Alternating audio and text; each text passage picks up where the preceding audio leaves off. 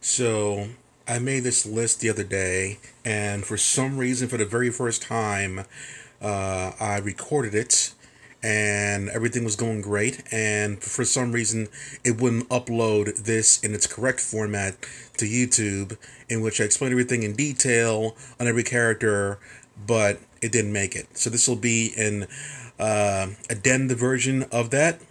So here we go. Essentially, I saw someone putting Jill in a like a mid tier position or high tier position because of the way that they look, and I was thinking, no, this character does not deserve to be that way because this character doesn't have necessary skills to compete properly in a game like this. Uh, essentially, I didn't put any of my feelings toward characters in there.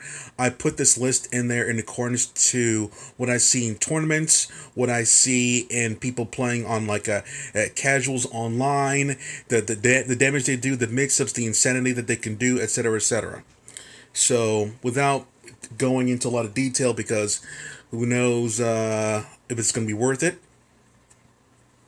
Okay, so the bottom tier characters are put there because they have done no results for anything. They have a lot of bad matchups in the game, and uh, their output is extremely low for what they do. Uh, they don't have a lot of ways to get out of things. Their defense, their defense sucks. Their offense sucks uh, completely. I dare anybody to show me anything good with these characters. And the number one reason why these characters the bottom of the bottom tier versus just low tier is because whenever they're on a team, 90% plus percent of the time, maybe 95% of the time, these characters will get whopped. It's very, very difficult to find a video currently with these characters kicking ass against a mid tier or higher team. You just you you'll rarely ever see that joint. If you see it once, I bet you won't see it again. It's so rare to see these guys, Hsien-Ko, She-Hulk, uh, She-Hulk uh, and Iron Fist kicking ass. That's why they're the bottom the bottom tier. The higher tier ones, you could see kicking ass against mid tier characters. You could even against the high tier characters, not the S tier those, not not them, but against the high tier, they have possibilities. They have possibilities to compete against the high tiers, but the odds are very very low. I would say it's like a eighty percent chance that low tiers will get their ass kicked. Uh, they some of them may have defense abilities, but overall, uh, except for Iron Man, every one of these people there are squishy and they do shit damage. Um, I, uh, Iron Man is here because he, he does have good health. He does do good damage. But you know why he's there? He's slow as fuck. He has no armor. He has no invincibilities on his super. I don't think he does. Not not really anyway. If Spencer's level 1 beats your level 3, you get pushed down two tiers. That's automatic right there. That's automatic. Like uh Strider, yeah, Strider's up there. Yeah, Strider's put in high tier because of his X Factor, but we'll get into that later. So Iron Man, like he, he's slow. He has he has defensive options with, with the repulsor ray. He has that stuff there. But guess what? You get nothing off of it. You could do something off a throw with this guy, but it's, it's to mean like virtually nothing anyway. Most of these characters in the low tier section can't get anything significant off of a throw. Um, and their their movement pattern is very predictable for what they do, especially Arthur, uh, Firebrand, and and uh, um, and more or less um, Trish. Uh, Iron Man has very predictable patterns, so that's why they get uh, the the low tier spot.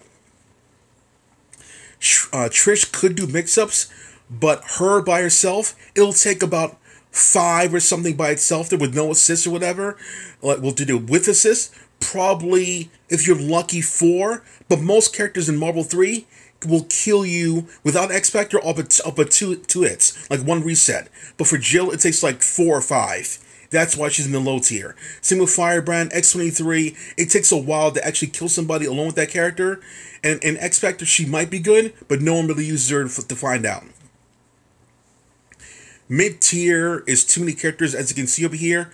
Long story short, the characters that are here are there because they have um, mainly untapped potential to get into the high tier, but I've seen more than enough with the mid tiers to make me think like these guys are good hands. Either they have invincibilities on level ones, or they have like extremely long range, uh, and like invincible, like some invincibility on stuff, uh, high attack power, uh, tricky projectiles like Beautiful Joe and and Rocket Raccoon, uh, good assists as well. Um, insanely high damage like Ghost Rider, uh, and and uh, the, the, his super, uh, Ghost Rider super will beat when, when, when they got your supers in the game Bionic Arm, it'll beat that shit clean because his bike has multiple hits of invincibility on there. So and, and it has enough armor to get through like um, Doctor Doom's hidden missile bullshit. So it'll get through that nonsense. So he has potential. Chris, insane damage and mix-ups off of incoming because of the fire traps and whatever. Taskmaster is very mobile. Uh, Ryu, like he can like his Tatsumaki Senpukyaku uh, is a good way to trick people up there into going for big damage. Thor has armor. Deadpool has the the teleport mix-ups uh, and good uh, and good um, t- uh, touching off of uh, projectiles. Storm is there, uh, and she's not low tier like some people may assume, is because her hailstorm is very fucking good. High damage off of the, off of the hailstorm. She has decent mix ups. Um, and um, her speed is okayish in the air. Her, her, her mobility in the air is very good. Um, Viper's there because she has missibility on level one. Uh, good mix as well. Uh, good damage. So yeah, uh, Haggar's there because I've seen I've seen way too much of this character to uh, be any no. So no way. Somebody question why Hawkeye's there. Hawkeye has good damage off of OTGs, his poison arrows, uh, his overall ground speed is very good, and um, yeah, like uh, that. That's it. Because his speed is really good, and his, his damage is okay. That that's why he's there. Uh, his assist is really good as well, so that's why he's there. He's never gonna be high tier, but he's good mid tier for sure. Uh, Wolverine is, is in mid tier and not high tier, uh, simply because well, um, I guess like alone he doesn't do the greatest uh, like damage by himself there, but with other characters he can do stuff there. He could definitely kill you off of two moves per se, like like the high tiers and stuff like that can.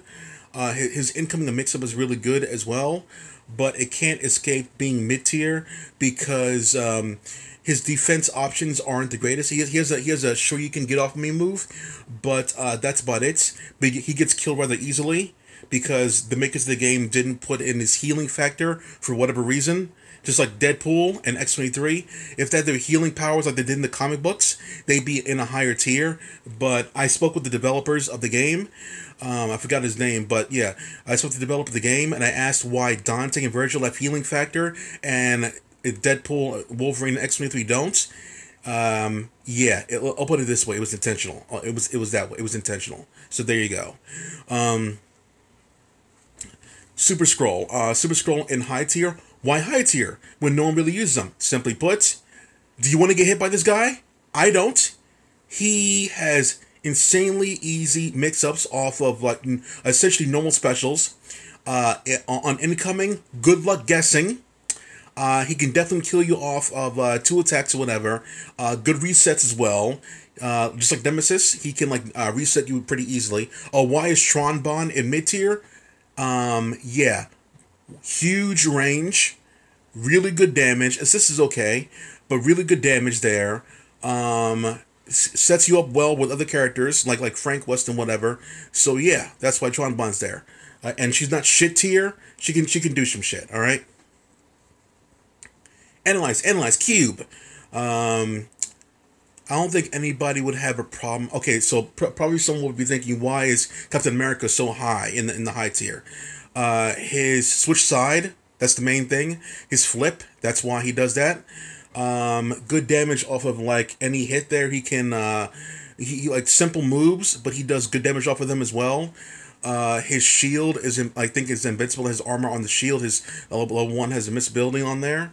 Uh, he can do de- like big damage off of like virtually anything, uh, and his defense is high as well. And um, yeah, so yeah, that's why he's there. He doesn't have the loops that that Strange has or Nova has there.